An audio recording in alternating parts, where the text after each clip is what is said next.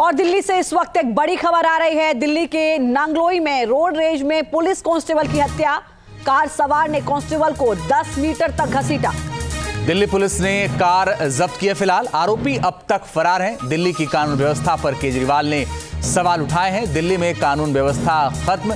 जंगल राज, ये कहा है अरविंद केजरीवाल ने। आम आदमी पार्टी के संयोजक ने सवाल उठाए हैं। कानून व्यवस्था को लेकर के और एक कांस्टेबल को मार दिया गया रोडरेज के मामले में हालाँकि कार को जब्त किया गया लेकिन आरोपी अभी तक फरार हैं। मरदीप शर्मा इस वक्त हमारे साथ जुड़े हैं। मरदीप क्या कुछ और जानकारी इस पूरे मामले पर? कि बीती रात तीन बजे की करीब की घटना बताई जा रही है जब कांस्टेबल संदीप सादी वर्दी में थे और जब उन्होंने सड़क पर देखा कि वेगनार कार रेकलेसली रफ्तार से तेज चल रही है और तो उन्होंने उसको रुकने का इशारा किया, लेकिन जो तेज रफ्तार कार चालक था, उसने बहुत तेज़ी के साथ में उनको 10 मीटर तक घसीटा है।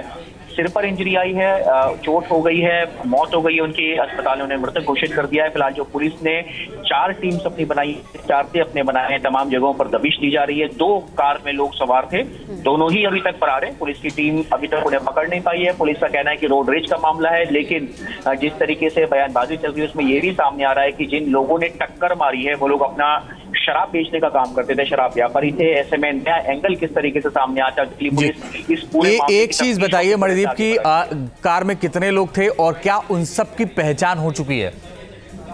जी बिल्कुल। कार में दो लोग सवार थे दिल्ली पुलिस के मुताबिक और उनकी पहचान हो चुकी है।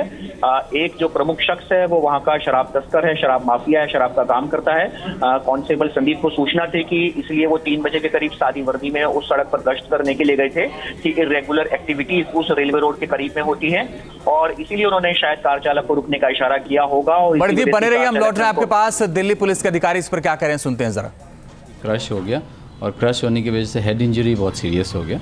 और इसी आई थिंक हेड इंजरी की वजह से डेथ हुआ है ऑल दो पीएम जो करेंगे उससे हमें फर्दर वेरीफाई हो जाएगा। सर क्या वजह थी जिस वजह से उनके बीच में ये ये ना बताई कि उसमें प्राइम ऑफ़ ऐसा ही लग रहा है कि रोड रेज टाइप का हुआ है बट वंस एक्यूज़ को हम अप्रीहेंड करेंगे उसके बाद ही मैं आपको फर्दर बता सकूँगा F I R one zero two B N S में होगा।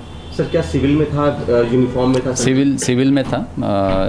बीट नंबर तीन है बिना इनक्लेव मोस्टली रेसिडेंशियल है।